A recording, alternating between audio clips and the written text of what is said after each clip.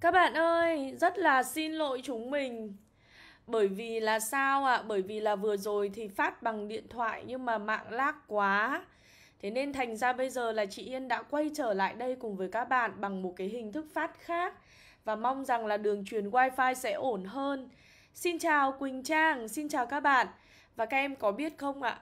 À, nếu như mà nói theo cái cách mà những năm vừa rồi học sinh của chị Hiên hay nói á Rồi xin chào Hoàng Anh, xin chào em, xin chào các bạn Các bạn ơi, các bạn đã có mặt ở đây chưa ạ?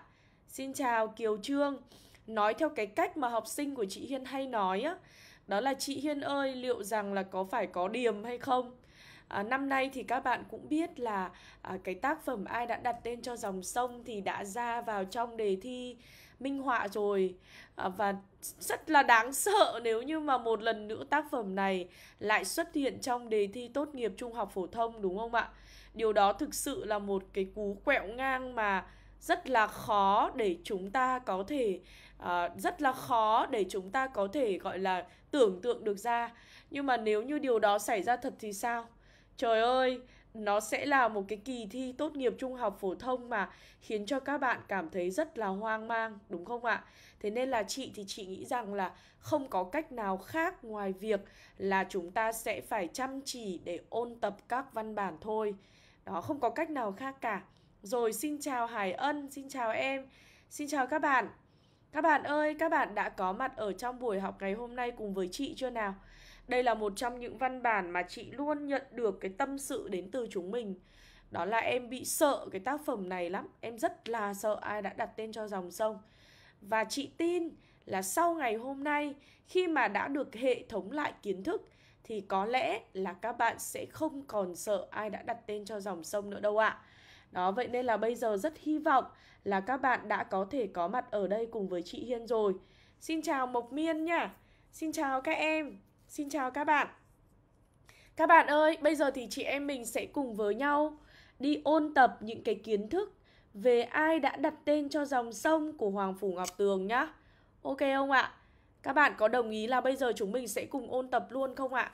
À, đây là một trong số những cái văn bản mà như chị đã nói đấy Là rất là sợ học Bởi vì sao? Chúng ta có thể thấy được một điều là ở trong cái văn bản này á thì sẽ có khá là nhiều uh, những cái câu văn hướng nội, những cái câu văn rất là xúc tích. Và có lẽ chính bởi đặc điểm trong cái văn phong của Hoàng Phủ Ngọc Tường khi ông ấy viết ký thế nên thành ra là chúng ta cũng thấy được uh, những cái điều khi mà chúng ta khám phá ấy, thì chúng ta phải thực sự uh, có được một cái nhìn nhận sâu vào bên trong thì chúng ta mới có thể cảm nhận hết được. À rồi, chúng mình ơi, thế thì chúng mình đã sẵn sàng để có thể bắt đầu cho buổi học ngày hôm nay cùng với chị Hiên chưa ạ? Các bạn đã sẵn sàng để chúng ta có thể bắt đầu cho buổi học ngày hôm nay cùng với chị Hiên chưa nào? Các em đã sẵn sàng chưa? Rồi, xin chào các bạn. Xin chào các em. Các em đã sẵn sàng chưa ạ? Xin chào Chu Thanh Lam. Vẫn là cái gương vẫn là gì ạ? Gương mặt quen thuộc ngày hôm qua đây. Các bạn ơi, các bạn đã sẵn sàng chưa? Và sau buổi ngày hôm nay thì chị Hiên có rất là nhiều những tài liệu để dành tặng cho chúng mình nha. Và sẽ chỉ dành tặng cho những bạn nào tham gia trong buổi học cuối cùng này thôi ạ. Đó, vậy nên là hãy giúp chị Hiên tác thêm những người bạn của mình Để chúng mình sẽ cùng với nhau nhận những cái phần quà là tài liệu sau buổi học ngày hôm nay cùng với chị nhá. Được không ạ? À rồi, ok ạ, nhất trí. Thế thì bây giờ chúng mình sẽ cùng với nhau đến với ai đã đặt tên cho dòng sông của Hoàng Phủ Ngọc Tường chúng mình nhá. Được không ạ? À? Đầu tiên thì bao giờ cũng vậy, chúng ta sẽ cần phải đi tìm hiểu những thông tin về tác giả trước. Thì các em thấy được rằng là khi mà tìm hiểu về tác giả ấy thì chúng ta sẽ tìm hiểu hai khía cạnh À vì lý tưởng của bác Hồ vĩ đại sẵn sàng à. Ok ạ. À. Các bạn ơi thì ở đây nhá. Đầu tiên là chúng mình sẽ có những cái thông tin về tiểu sử của tác giả này. Tại vì sao mà văn phong của Hoàng Phủ Ngọc Tường đôi khi lại gây ra cái sự khó hiểu cho chúng ta? Hello Quỳnh Trang. Rồi xin chào các bạn. Các em vào trong buổi học ngày hôm nay thì có thể gửi lời chào tới chị và mọi người nha Rồi ạ à, vì sao ư? Bởi vì là chúng ta có thể thấy bản thân nhà văn Hoàng Phủ Ngọc Tường ấy, ông ấy đã từng tốt nghiệp, được không ạ? À? Ông ấy đã từng tốt nghiệp khoa triết của Đại học Văn khoa Huế các bạn ạ. Ông ấy là một cái người trí thức mà có hiểu biết sâu rộng về nhiều lĩnh vực khác nhau. À, lịch sử này, địa lý này, văn hóa này và đặc biệt nha là về Huế. Nhưng mà có rất là nhiều bạn thì thường nhầm lẫn và nói rằng là ôi thế thì chắc là quê của Hoàng Phủ Ngọc Tường phải là thành phố Huế rồi. Nhưng mà không phải đâu các bạn ạ. À không phải đâu. Quê hương của Hoàng Phủ Ngọc Tường, quê gốc là ở Quảng Trị cơ. Nhưng mà ông sinh ra, ông lớn lên ở thành phố Huế. Thế nên thành ra chúng ta có thể thấy được một điều đó chính là gì ạ? Chúng ta có thể thấy được một điều là bản thân Hoàng Phủ Ngọc Tường ấy là một trong số những cái nhà văn mà gắn bó rất là sâu nặng với Huế thương. Chúng ta cũng biết được là thành phố Huế là một thành phố mà có những cái vẻ đẹp rất là riêng biệt. Và đây là một cái thành phố thường gợi ra một cái vẻ đẹp dịu dàng. Thường là thành phố gợi ra à, một cái vẻ đẹp rất là gì ạ? À, rất là tình tứ và duyên dáng. Và chúng ta có thể thấy được rằng là cả một cái khoảng thời gian rất là dài khi mà Hoàng Phủ Ngọc Tường đã gắn bó với Huế, yêu Huế và miền đất này đã trở thành một trong những cái không gian sáng tác cứ trở đi trở lại trong những tác phẩm của ông. Thì các bạn sẽ chú ý giúp cho chị những cái thông tin về Hoàng Phủ Ngọc Tường nhé. Ông ấy cũng đã từng tham gia trong cuộc kháng chiến chống Mỹ bằng các hoạt động văn nghệ. Sau này, khi hòa bình lập lại, thì ông được kết kết nạp vào Hội Nhà văn Việt Nam và ông sống sinh sống ở thành phố Hồ Chí Minh. Thế nhưng mà năm vừa rồi ấy là một cái năm rất là buồn đối với nền văn học Việt Nam hiện đại và đặc biệt là đối với những người viết ký. Bởi vì sao ạ? Bởi vì Hoàng Phủ Ngọc Tường đã à, Hoàng Phủ Ngọc Tường đã ra đi sau một thời gian bị bệnh đúng không ạ? Và đó thực sự là một cái nỗi mất mát bởi vì chúng ta có thể thấy được rằng là trong cái quá trình sáng tạo của mình thì nhà văn Hoàng Phủ Ngọc Tường đã để lại cho những bạn đọc chúng ta rất là nhiều những cái tác phẩm ký ấn tượng nhá. Rồi xin chào Thế Vinh, xin chào em, xin chào các bạn. Được không nào? Thì chúng mình sẽ chú ý giúp cho chị Hiên là như vậy nhá. Các bạn sẽ chú ý giúp cho chị Hiên là như vậy nhá. Được không ạ? À? Rồi tiếp tục ở đây chúng ta sẽ nói trọng tâm vào sự nghiệp sáng tác nhá.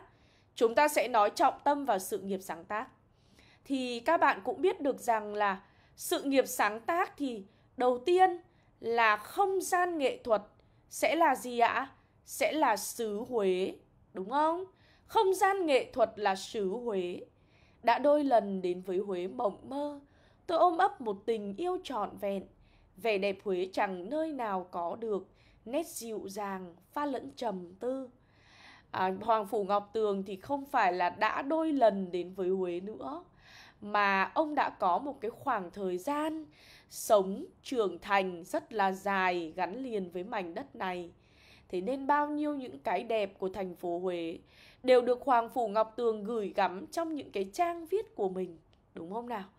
Có thể nói rằng sự nghiệp văn chương của tác giả này được ví như là một dòng sông độc đáo bởi vì ông luôn chăm chỉ miệt mài, sáng tác không ngơi nghỉ để đóng góp cho đời những áng văn thơ hay. Và chúng ta có thể thấy được rằng là mỗi tác phẩm của ông thì đều có một phong cách viết rất độc đáo. Và đó là cái sự kết hợp giữa chất trí tuệ và chất trữ tình. Đúng không ạ? Đó là cái sự kết hợp giữa gì ạ?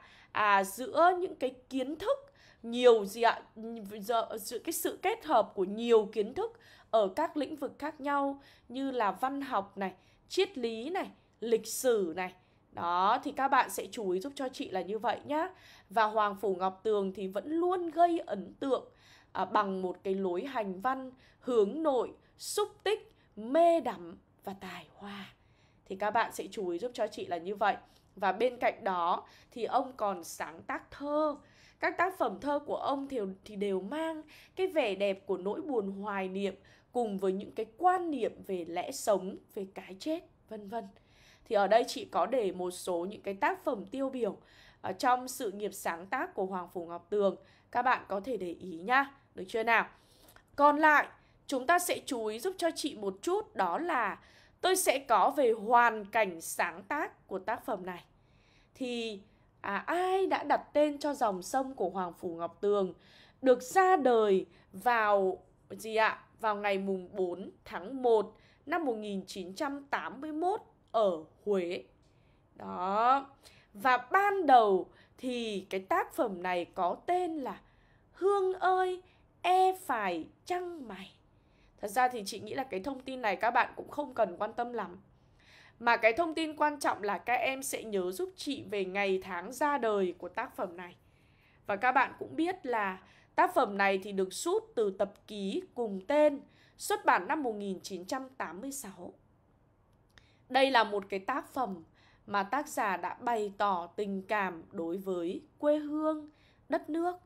À, và khi mà chúng ta đã nhớ được về cái năm sáng tác rồi thì như chị nói với các bạn là bao giờ chúng ta cũng sẽ đặt vào trong cái phân kỳ lịch sử văn học nhá. Bao giờ chúng ta cũng sẽ đặt vào trong cái phân kỳ lịch sử văn học để chúng ta có thể đưa ra được cái hoàn cảnh sáng tác ở đây.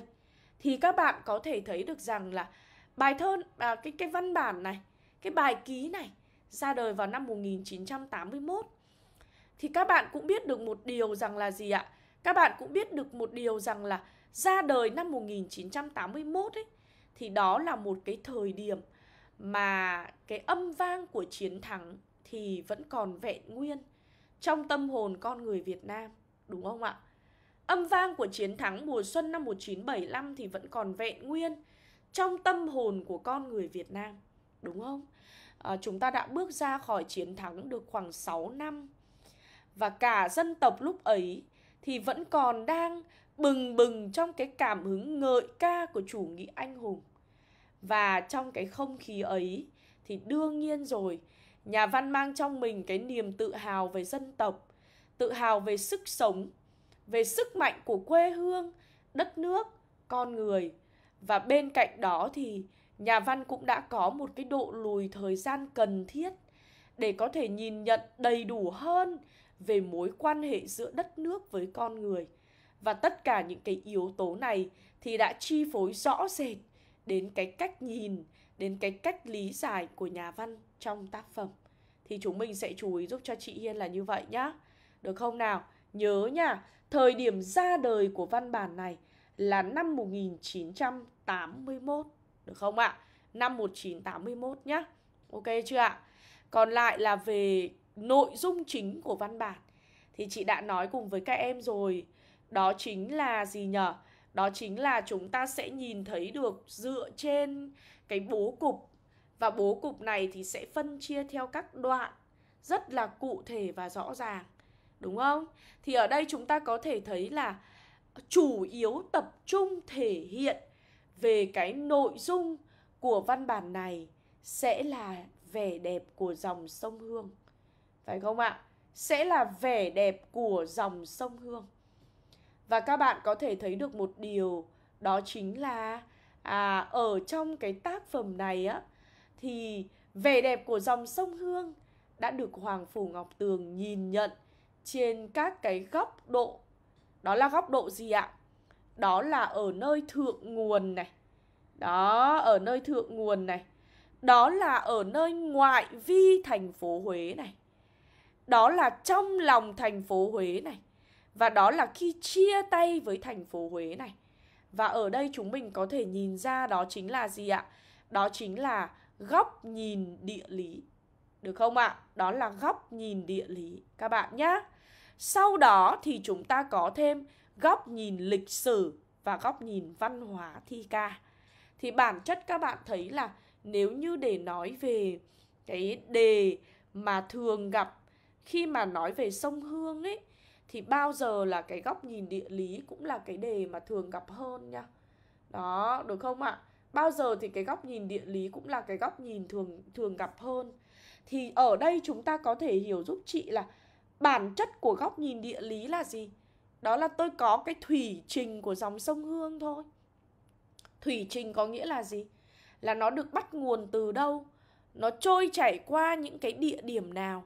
Và sau đó thì nó đổ ra biển ra sao? Thì người ta gọi là thủy trình Thủy trình là hành trình dòng chảy Đó, thì các em sẽ chú ý giúp chị là như vậy nhá Và các em chỉ cần soi chiếu cái nội dung này vào trong gì ạ? Vào trong văn bản là các bạn sẽ rất là dễ dàng để có thể nhìn ra được về những cái nội dung ở đây. Ok chưa ạ? Thì chúng mình sẽ chú ý giúp cho chị là như vậy nhá. Được không ạ? Tiếp theo, bây giờ thì chúng ta sẽ cùng với nhau đi tìm hiểu về vẻ đẹp của sông Hương qua các góc độ dựa trên cái bố cục phía trên chúng mình vừa nêu nha. Được không ạ? À, chúng ta có thể thấy rằng ở đây chúng ta có đó là hành trình dòng chảy của sông Hương. Được không ạ? Ở đây chúng ta có đó chính là hành trình dòng chảy của sông Hương. Hay nói cách khác là hành trình sông Hương tìm ra biển. À, chúng ta có thể thấy được rằng là khi mà viết về con sông Hương ấy thì nhà văn Hoàng Phủ Ngọc Tường không để cho dòng sông này à, trở thành một cái dòng sông vô tri đâu mà ông ấy đã biến dòng sông này trở thành một cái sinh thể có linh hồn đó đã biến cái dòng sông này trở thành một cái sinh thể có linh hồn và chúng ta thấy được rằng là à, chúng ta cảm nhận được một cái dòng sông mà dường như đang thực hiện một cái cuộc kiếm tìm. Đó là một cái cuộc kiếm tìm về người tình đích thực của mình. Và dù cho có phải vượt qua bao nhiêu những cái sóng gió dù cho có phải vượt qua bao nhiêu những cái trở ngại thì chúng ta vẫn thấy đó là dòng sông Hương là một trong những cái dòng sông mà đã tìm được đến với người tình đích thực của mình và đã thực hiện được một cái hành trình như chị có để ở đây ạ. À. Đó là hành trình kiếm tìm và đuổi bắt của người con gái trong tình yêu, hành trình khám phá chính bản thân mình được không nào thì các em sẽ chú ý giúp cho chị nhé ở đây chúng ta sẽ có này, ở đây chúng mình sẽ có này để nói về, giới thiệu về con sông hương. Bởi vì khi mà phân tích một cái hình tượng ấy, thì bao giờ chị cũng nói với các em là chúng mình sẽ có hai ý. Ý số 1 chúng mình làm gì nhỉ ý số 1 chúng mình làm gì? Ý số 1 chúng mình sẽ cần phải à giới thiệu, khái quát về cái hình tượng đó trong ký. Thế thì bây giờ nếu như mà chúng ta đặt ra một cái câu hỏi rằng là sông Hương là một dòng sông như thế nào? Thì chắc chắn là các bạn sẽ biết ngay được là đây là một cái con sông à, là biểu tượng của thành phố Huế, đúng không? Và ở ngay trong cái câu văn đầu tiên á, của ai đã đặt tên cho dòng sông của Hoàng Phủ Ngọc Tường thì nhà văn Hoàng Phủ Ngọc Tường đã viết là trong những dòng sông đẹp ở các nước mà tôi thường nghe nói đến, hình như chỉ có sông Hương là thuộc về một thành phố duy nhất. Ngay cái câu văn đầu tiên ạ, à, các bạn có thể xem nhé. Ngay cái câu văn đầu tiên. Đó, ngay cái câu văn đầu tiên. Thì ở trong cái câu văn đầu tiên này các bạn có thể thấy là nó giống như một cái cách khéo léo mà nhà văn Hoàng Phủ Ngọc Tường thể hiện mối duyên giữa dòng sông và thành phố Huế ạ. Nó giống như một cái mối duyên giữa dòng sông và thành phố Huế. Thì ở đây chúng ta có thể thấy được rằng là đúng rồi ạ. Đây là một cái dòng sông rất đặc biệt và nó đặc biệt ở chỗ là nó chảy trôi giữa một thành phố duy nhất. Đúng không? Và có lẽ chính cái đặc điểm riêng biệt này, chính cái đặc điểm riêng biệt này đã tạo nên một sông Hương cực kỳ đặc biệt là một dòng sông Hương chỉ thuộc về trọn vẹn của Huế thơ mà thôi, đúng không ạ? Đây trở thành biểu tượng và trở thành nét đặc sắc của thành phố này. Và từ đó chúng ta cũng có thể thấy được tình cảm đặc biệt mà Hoàng Phủ Ngọc Tường dành cho xứ Huế và sông Hương thông qua một cái phát hiện rất là tinh tế của mình. Được không ạ? thông qua một cái phát hiện rất tinh tế của mình. Ngày hôm nay hình như học về ai đã đặt tên cho dòng sông. À, các bạn cho rằng là cái bài này chắc chắn sẽ không xuất hiện trong đề thi hay sao ấy. Thế nên là thấy rất là ít các bạn vào học. Bởi vì bản chất là à, bởi vì bản chất là các bạn cũng biết là năm nay thì sẽ là à, các bạn đã biết là cái tác phẩm này thì ra trong đề minh họa rồi. Thế nên là có rất là nhiều bạn là loại trừ luôn tác phẩm này không học. Thế năm nay nhỡ đâu mà bộ giáo dục mà quẹo một cái thì sao? Lại cho vào một cái đoạn khác, trong ai đã đặt tên cho dòng sông thì sao? Thì lúc đấy là các em chìm nghỉm luôn à? Hả? Lúc đấy là các bạn chìm nghỉm luôn à? Đó, thế nên là chị thì chị cho rằng là tại vì sao mà các bạn lại 2K6 năm nay nhiều bạn lại cứ dừng dưng thế nhở? Đến bây giờ mà các bạn vẫn còn chưa gọi là chạy á, thì chị cảm thấy quá là nguy hiểm rồi. Nên là các bạn sẽ cần phải chú ý giúp chị là chúng ta phải, chúng ta phải cố gắng để làm gì? Chúng ta phải cố gắng để chúng ta học đi. Chúng ta không còn nhiều thời gian nữa rồi. Mà tự ý loại bỏ các tác phẩm đến khi mà vào thì đúng là vào phòng thi chỉ có khóc một dòng sông thôi. Là chắc chắn luôn đấy ạ. Rồi, thì bây giờ chúng ta sẽ cùng đến với vẻ đẹp của con sông này nhá. Đầu tiên là vẻ đẹp của sông hương qua góc nhìn địa lý này. Thì chị đã nói với các bạn là vẻ đẹp của sông hương qua góc nhìn địa lý ấy, thì nó chính là gì? Thính là, chính là thủy trình. Đúng không ạ? Bản chất là nó sẽ là thủy trình. Phải không nào? Thủy trình của sông hương. Đúng không? Thủy trình là gì? Là hành trình dòng chảy của sông hương. Đúng chưa? Và khi mà các bạn học ký ấy, thì các bạn có thể là thiết kế lại về cái kiến thức mình đã tiếp nhận bằng những cái cách chị đưa ra ở dưới đây nhá. Đó chính là thứ nhất là sông Hương ở nơi thượng nguồn này, sau đó là được thể hiện qua những dẫn chứng gì này và sau đó thì chúng ta sẽ tiến hành bình luận để làm rõ cái dẫn chứng đó và chúng mình sẽ có cái gì ạ? Sẽ có cái cảm nhận về dẫn chứng đó ở đây này. Ok chưa ạ? Thì đây là một cái cách mà nếu như các em đã làm được như thế này thì cái việc mà triển khai thành một cái bài viết của chúng mình sẽ rất là đơn giản đấy ạ, sẽ rất là đơn giản luôn. Chị đang tính là có thể là buổi tối ngày hôm nay muộn muộn một chút. Hôm nay là cái buổi học cuối của chúng mình rồi. Nhưng mà dự tính là buổi học buổi tối ngày hôm nay muộn muộn một chút thì chị sẽ khoanh vùng gọi là những cái đoạn trích Ừ, trọng tâm ở một số những cái tác phẩm có khả năng vào cao cho các bạn. Thì không biết là các bạn có muốn tham gia với chị thêm một buổi nữa ở buổi tối ngày hôm nay không? Đấy, thì chị dự kiến là chắc là phải khoảng tầm 10 giờ hoặc 10 rưỡi. Đấy, thì chị mới phát cùng với các em được. Bởi vì là buổi sáng thì đôi khi các bạn cũng hơi bị cập rập ấy thì chị đang muốn là có thêm một cái buổi vào buổi tối, duy nhất buổi buổi tối ngày hôm nay thôi ạ. đấy, thì thì muốn là sẽ khoanh vùng. Ví dụ như là chỉ ra một số những cái đoạn trong các tác phẩm mà có khả năng vào cao này. Đấy, và nếu như mà được thì có thể định hướng luôn về cái cách làm cho chúng mình này. Thì không biết là các bạn có muốn tham gia không? Chứ các cái tình trạng như buổi sáng ngày hôm nay mà dậy sớm thế này thì thì nói thật là gì ạ? À thì nói thật là rất là buồn ạ. Bởi vì chị biết là tâm lý của các em là thế có thể là ngày hôm nay thì các bạn chưa có quan tâm các bạn không có quan tâm tới phát tác phẩm này luôn bởi vì là các bạn thấy làm sao. Các bạn thấy là cái tác phẩm này có thể là đã thi trong đề minh họa rồi nên các bạn vô cùng chủ quan chăng? Rồi khoanh vùng tất cả các bài luôn hả chị?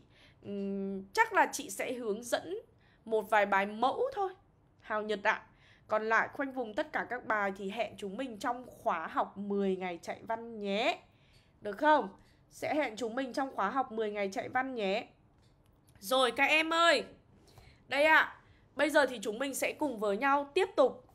Dự kiến thì chắc là khoảng tầm à, uh, 22 giờ hoặc 22 giờ 30 em ạ. Dự kiến là như vậy. Đó, khoảng 22 giờ hoặc là 22 giờ 30 Chắc là cũng phải muộn muộn Tại vì là dự tính là chị cũng cần phải dậy xong cái đã Đó, ok không? Nhất trí không? Để em còn chuẩn bị giờ giấc luôn à Ok ạ, à, thế thì bây giờ chúng mình sẽ cùng quay trở lại đây nhé Đầu tiên là sông Hương nơi thượng nguồn. Đầu tiên là sông Hương nơi thượng nguồn. Thì các bạn sẽ thấy ở đây đầu tiên là chúng ta có dẫn chứng này. Đầu tiên chúng ta sẽ có câu thứ nhất đó là trước khi về đến vùng châu thổ êm đềm, nó đã là một bản trường ca của rừng già, rầm rộ giữa những bóng cây đại ngàn, mãnh liệt qua những gành thác, cuộn xoáy như cơn lốc vào đáy vực bí ẩn và cũng có lúc nó trở nên dịu dàng và say đắm giữa những dặm dài trói lọi màu đỏ của hoa đỗ quyên rừng. Được không ạ? À? Thì ở đây chúng ta sẽ có ờ, một cái phần bình luận cho cái ý này nhá. Ở đây chúng ta sẽ có một cái phần bình luận cho cái ý này. Thì các bạn có thể thấy được rằng là đầu tiên ở trong cái câu thơ này cái chữ cái phần mà chị bôi vàng lên á thì các em sẽ thấy là ở đây tác giả sử dụng cái biện pháp nghệ thuật gì? À tí nữa chị sẽ nhắc lại với chúng mình nhá. Ở đây thì tác giả sử dụng biện pháp nghệ thuật gì ạ? Ở đây tác giả sử dụng biện pháp nghệ thuật gì ạ? À, đó chính là biện pháp nghệ thuật so sánh, đúng không ạ? So sánh gì nhỉ các bạn nhỉ? À, so sánh sông Hương với bản trường ca của rừng già với nhiều những cái cung bậc và giai điệu phong phú. Đó là gì ạ? Đó là rầm rộ này, đó là mãnh liệt cuộn xoáy này. Đó là gì ạ? Đó là dịu dàng say đắm này, đúng không? Và chúng ta có thể thấy được một điều đó chính là ở trong cái tác phẩm này thì chúng ta có thể thấy được là đối với những cái tính từ được sử dụng ở đây thì rõ ràng chúng ta đã có thể cảm nhận được về một cái một cái vẻ đẹp tựa như một cái bản trường ca với rất nhiều những cung bậc và giai điệu phong phú của sông Hương. Đó là giai điệu mạnh mẽ, khỏe khoắn và gấp gáp. Đó là giai điệu dồn dập, nhanh và kéo dài. Và đó là giai điệu nhẹ nhàng, tha thiết, ngân vang. Được không ạ? Và chúng ta có thể thấy được rằng là ở trong cái câu này thì tác giả cũng đã sử dụng những cái từ ngữ giàu giá trị tạo hình, gợi tả chính xác vẻ đẹp của sông Hương, vừa hùng vĩ, vừa man dại, vừa trữ tình và say đắm lòng người. Và có thể thấy được một điều rằng đó chính là gì ạ? Sông Hương cứ chảy đến đâu thì nó lại phản ánh cái thiên nhiên xung quanh đến đấy. Đúng không? Cứ chảy đến đâu thì lại phản ánh diện mạo của thiên nhiên xung quanh đến đấy. Đó là gì ạ? Đó là những bóng cây đại ngàn. Đó là những gành thác. Đó là những đáy vực bí ẩn. Đó là những dặm dài trói lọi màu đỏ của hoa đỗ quyên rừng. Phải không ạ? Và chúng ta có thể thấy được rằng là cái diện mạo của sông Hương ấy là một cái diện mạo bộc lộ cho một cái tâm hồn phong phú và bí ẩn của chính dòng sông này. Thế thì nếu như mà bây giờ chúng ta cho một cái trích đoạn như thế này và chúng ta đã có một cái phần bình luận như thế này thì chẳng có lý gì mà các bạn lại không làm được.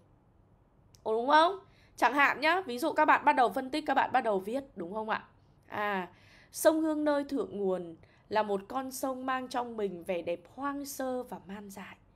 Hoàng Phủ Ngọc Tường viết Trước khi về đến vùng châu thổ êm đềm, nó đã là một bản trường ca của rừng già rầm rộ qua những bóng cây đại ngàn đấy, kiểu vân vân vân vân vân như thế. Được không nào? Thì sau đấy chúng mình sẽ cùng với nhau À sau đấy chúng ta sẽ cùng với nhau đến với gì ạ? À sau đấy thì chúng ta sẽ cùng với nhau đến với à, phân tích rõ hơn đúng không? Ở trong câu văn này, một câu văn dài đúng không ạ? Tác giả đã sử dụng nghệ thuật so sánh để nhìn thấy hình ảnh sông Hương trong cái nhìn giống như một bản trường ca của rừng già với nhiều cung bậc và giai điệu phong phú. Đó là giai điệu rầm rộ, một giai điệu mạnh mẽ, khỏe khoắn và gấp gáp. Là giai điệu mãnh liệt, mãnh liệt cuộn xoáy, là một giai điệu dồn dập nhanh và kéo dài. Và bên cạnh đó, nó còn là một bản trường ca mang giai điệu nhẹ nhàng, tha thiết, ngân vang, được thể hiện qua cụm từ dịu dàng và say đắm. Chính việc sử dụng những từ ngữ giàu giá trị tạo hình và gợi tả chính xác được vẻ đẹp của sông Hương vừa hùng vĩ vừa man dại, vừa trữ tình say đắm lòng người. Dòng sông này nơi thượng nguồn chảy trôi đến đâu lại phản ánh diện mạo của thiên nhiên tới đó. Đấy kiểu kiểu như vậy. Thế thì rõ ràng là như chị khẳng định với các em là nếu như các bạn có ngữ liệu, phần này là ở trên đề bài. Và bây giờ các em có thêm cái phần bình luận này thì không có một cái lý do gì mà các bạn lại không gì ạ? Mà các bạn lại không à không viết được. Chúng mình hiểu không? Các bạn có hiểu không ạ? À? Các bạn có hiểu cách làm không ạ? À? Đây là dẫn chứng đầu tiên nhá. Sau đó, đấy là nơi bắt đầu. Bắt đầu con sông này trôi chảy đến giữa lòng Trường Sơn này. Thì lại tiếp tục là một cái liên tưởng nữa. Lại tiếp tục là một cái so sánh nữa. Đó chính là gì? Đó là giữa lòng Trường Sơn. Sông Hương đã sống một nửa cuộc đời mình như một cô gái di gan phóng khoáng và man dại. Được không ạ? À? Và rừng già thì đã hun đúc cho nó một bản lĩnh gan dạ, một tâm hồn tự do và trong sáng. Đó. Thì ở đây các bạn sẽ chú ý giúp chị đó chính là sông Hương lại tiếp tục được đặt trong một cái liên tưởng. Ok, nếu mà các bạn hiểu bài thì các bạn phản hồi cho chị nhá. Chị chỉ mong rằng là sau những cái phần hướng dẫn của chị ở đây ấy thì các em sẽ biết viết các em sẽ biết trình bày ở trong cái phần bài viết của mình. Đấy là điều quan trọng nhất nha đấy là điều quan trọng nhất ạ. Đấy thế nên là rất là mong là à, các bạn sẽ có thể à, các em hiểu rồi ạ. À. ok tốt rồi. Đấy đơn giản lắm. Nếu như mà chúng mình có chúng mình tự thiết lập được những cái bảng kiến thức như thế này và chúng ta nắm được thì đi vào trong phòng thi nha. Bây giờ tôi chỉ quan trọng là tôi viết bao nhiêu thôi. Chứ còn bản chất là đề nào tôi cũng xử lý được hết. Bởi vì là ngữ liệu thì đã có trong đề rồi, mà kiến thức thì đã trong đầu rồi. Bây giờ chỉ việc là lôi cái kiến thức ở trong đầu ra thôi, chứ có gì phức tạp đâu, đúng không? Ok nhá. Rồi, thế thì bây giờ chúng ta sẽ có này. Ở trong đoạn này, thì sông hương tiếp tục được so sánh với một cô gái di gan phóng khoáng và man dại đúng không ạ à, tác giả đã sử dụng cái nghệ thuật so sánh nhân hóa liên tưởng độc đáo này Đấy, để so sánh sông Hương với một cô gái di gan phóng khoáng và man dại. À, cô ấy mang trong mình một cái tâm hồn tự do và trong sáng. Đúng không ạ? À, chúng ta có thể thấy được rằng là ở đây nhá, thì tác giả đã lấy hình ảnh của cô gái di gan là hình ảnh của cô gái dân tộc Bohemian. Đúng không ạ? Là hình ảnh của cô gái dân tộc Bohemian là một cái dân tộc mà thường sinh sống ở những cái vùng thảo nguyên của châu Âu và đặc biệt là của nước Pháp với một cái cuộc sống rất là tự do, rất là thoải mái. Họ yêu thích ca hát, họ thích sống phóng khoáng, họ lang thang trên những thảo nguyên, hát những bài ca hân hoan. Thì ở đây chúng ta có thể thấy rằng là dựa vào cái đặc điểm đó thì nhà văn Hoàng Phủ Ngọc Tường đã so sánh sông Hương với một cô gái di gan, phóng khoáng và man dại, mang trong mình một cái tâm hồn tự do và trong sáng. Để từ đó mượn hình ảnh của cô gái này diễn tả một cái vẻ đẹp nữ tính, vừa hoang sơ, vừa tự nhiên, vừa hồn nhiên, vừa đầy khát khao mãnh liệt. Được không ạ? À? Và chúng ta có thể thấy được rằng là đây là cách mà gì ạ? Đây là cách mà Hoàng Phủ Ngọc Tường đã khơi về cội nguồn để khám phá vẻ đẹp sâu thẳm, đầy cá tính của dòng sông này. Thì chúng mình sẽ chú ý giúp cho chị là như vậy nha. Và chúng ta có thể thấy được rằng à, cái dòng sông này là một dòng sông ở phía trên thì được đặt trong cái liên tưởng với bản trường ca của rừng già. Tiếp theo là được đặt trong liên tưởng với cô gái di gan, phóng khoáng và man dại. Đúng không ạ? Và đặc biệt chúng ta có thể thấy rằng đó là sau khi mà gì ạ? Sau khi mà rời khỏi à, rời khỏi chuẩn bị rời khỏi rừng già thì ở đây chúng ta có thể thấy là dòng sông này đã trở thành người mẹ phù sa của một vùng văn hóa xứ sở. Thì ở đây khi mà học ký ấy, đặc biệt là ai đã đặt tên cho dòng sông thì các em cứ gán cái vẻ đẹp của sông Hương với những cái hình ảnh mà chúng ta đang có ở đây các bạn ạ. Đó, các bạn cứ chủ động gán hình ảnh của sông Hương nhá. Các bạn sẽ chủ động gán hình ảnh của sông Hương với gì? Với à, những cái hình ảnh được lựa chọn để đưa vào. Thì đầu tiên là bản trường ca của rừng già này. Thứ hai là gì ạ? Cô gái di gan phóng khoáng và man dại này. Và thứ ba ở đây là gì ạ? Là người mẹ phù sa của một vùng văn hóa xứ sở này. Đấy thì các bạn sẽ chú ý giúp cho chị là như vậy nhá. Thế thì chúng ta có thể thấy được ở đây là nếu như ở phía trên những cái hình ảnh được sử dụng là à, bản trường ca của rừng già là người con gái di gan phóng khoáng và man dại là một cái vẻ đẹp rất là phóng khoáng rất là hoang sơ, đúng không ạ? Thì bây giờ chúng ta lại thấy được rằng là ở đây chúng ta có người mẹ phù sa của một vùng văn hóa xứ sở. Một cái hình ảnh nó rất là đối nghịch ấy. Rất là đối nghịch. Bởi vì sao ạ? Ở phía trên là một cái vẻ đẹp phóng khoáng và man dại. Thì ở đây lại là một cái vẻ đẹp dịu dàng và trí tuệ. Nhá lại là một cái vẻ đẹp dịu dàng và trí tuệ. Và chúng ta có thể thấy được rằng là dường như tôi đã nhìn thấy một sông hương rất là khác. Không phải là sông hương mà trước đó tôi đã nhìn thấy ở thượng nguồn, mà bây giờ lại là một dòng sông hương với hai phần đời, với hai con người riêng biệt. Ở phía trên là một cái vẻ đẹp phóng khoáng, một cái vẻ đẹp man dại. Thì bây giờ lại là một cái vẻ đẹp dịu dàng và trí tuệ. Đó, các bạn sẽ chú ý giúp chị ạ. Và các bạn có thể thấy rằng là chính cái điều này đã giúp người đọc có thêm một cái góc nhìn, một cái sự hiểu biết về vẻ đẹp hùng vĩ, man dại, đầy chất thơ của sông hương. Và hoàng phủ ngọc tường đã đem đến một cái nhìn sâu sắc hơn. Đó là một cái sự thừa nhận, là một cái sự ghi công với con sông này bởi vì sao? Chúng ta đều biết rằng dòng sông hương chính là một dòng sông. À, thường thì những cái nền văn minh những cái nền văn hóa thường là rất hay ra đời bên cạnh một dòng sông đúng không ạ?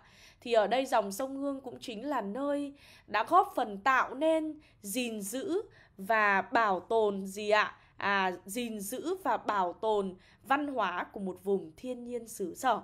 Đó chính là không gian văn hóa Huế đây giống như chú văn học có viết ở đây ạ dòng nước sông Hương chảy lặng lờ, ngàn thông núi ngự đứng như mơ, gió chiều vương áo nàng tôn nữ quay lòng nghiêng vành chiếc nón thơ đó, một cái đoạn thơ rất hay về sông Hương ạ và các bạn cũng có thể, các bạn cũng có thể linh hoạt sử dụng những cái đoạn thơ này để chúng mình sẽ đưa vào trong phần bài viết nha. Được không ạ? Để các bạn sẽ đưa vào trong phần bài viết nha. Rất là cảm ơn chú Văn Học. Và các em ơi như chị đã nói nhá, là chị dự định là tối nay sẽ làm thêm một buổi nữa vào khoảng 22 giờ 30 thì sẽ làm sẽ làm một trong hai nội dung. Nội dung thứ nhất là chị sẽ khoanh vùng một số đoạn trọng tâm.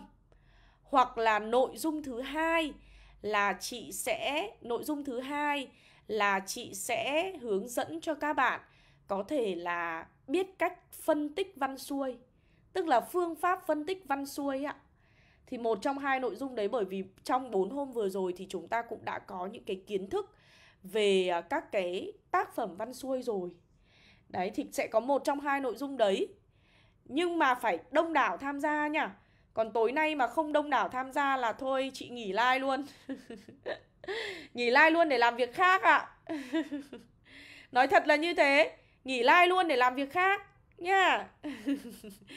Đó nên là nếu mà các bạn hào hứng và các bạn muốn tham gia Thì các bạn sẽ có thể là uh, comment tại đây để chị biết. Và chắc chắn trong tối ngày hôm nay Sẽ có một cái deal về khóa học 10 ngày Mà các bạn chỉ có thể săn được ở trong live thôi. Chỉ có thể săn được ở trong buổi phát trực tiếp tối ngày hôm nay thôi. Một cái mức học phí chưa bao giờ từng thấy.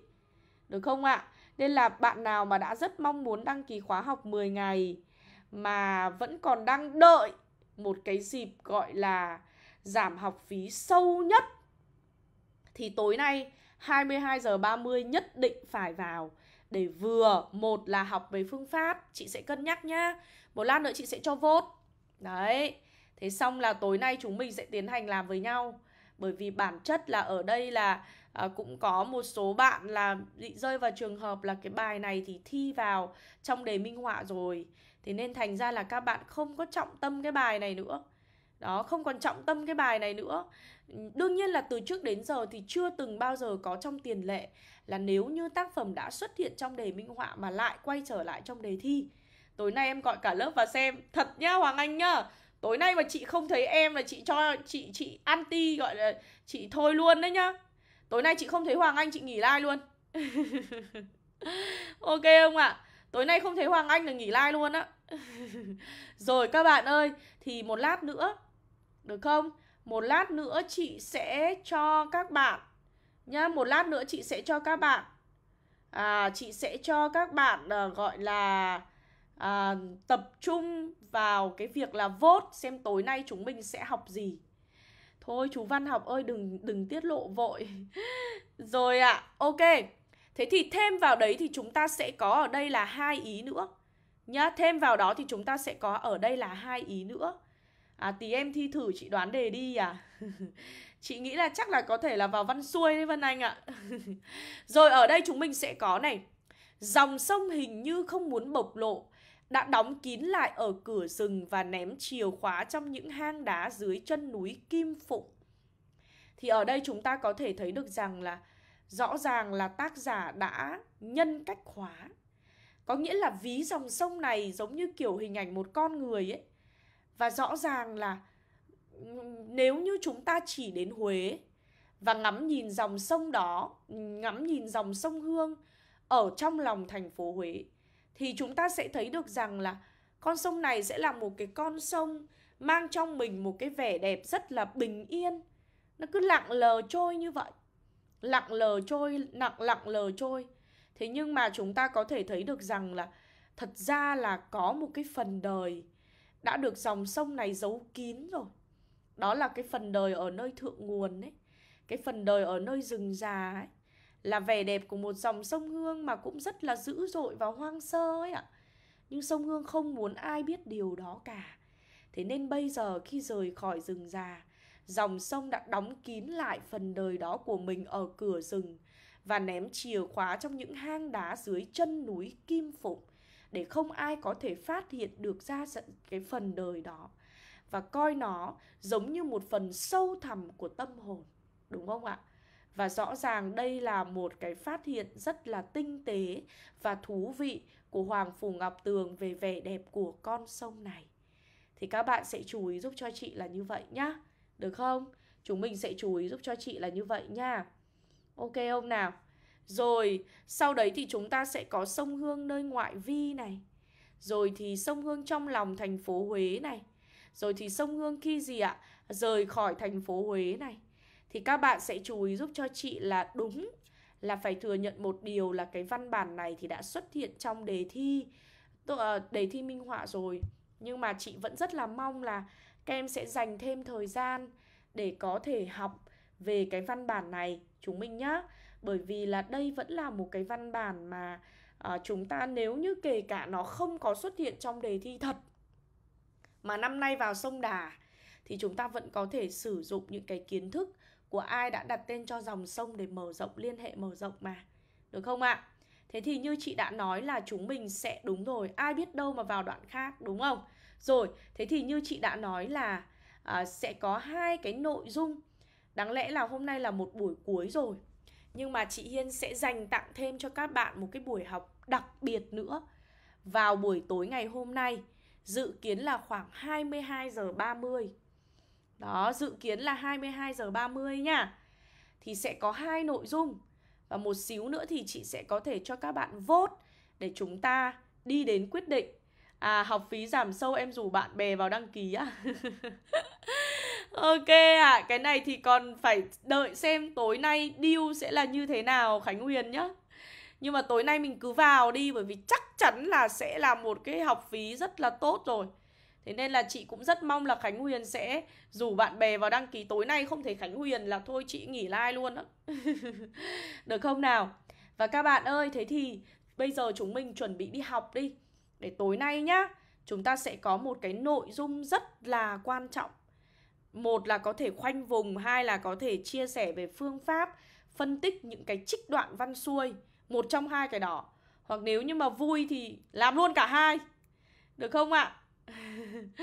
Rồi, được không nào? Các bạn ơi, Thế thì trong ngày hôm nay chúng mình sẽ tạm thời dừng lại ở đây đi. Để các bạn cũng có một cái định hình về ai đã đặt tên cho dòng sông về cái đoạn đầu tiên. Và chị Hiên sẽ hẹn gặp lại các bạn vào buổi tối ngày hôm nay. Sẽ là một cái buổi rất là đặc biệt để có thể chia sẻ cùng với chúng mình nhá. Được không nào? Còn bây giờ thì xin chào và hẹn gặp lại. Chúc các bạn một ngày thật là vui vẻ và nhiều năng lượng nha. Cảm ơn các em rất nhiều. Nhớ tối nay gặp chị nha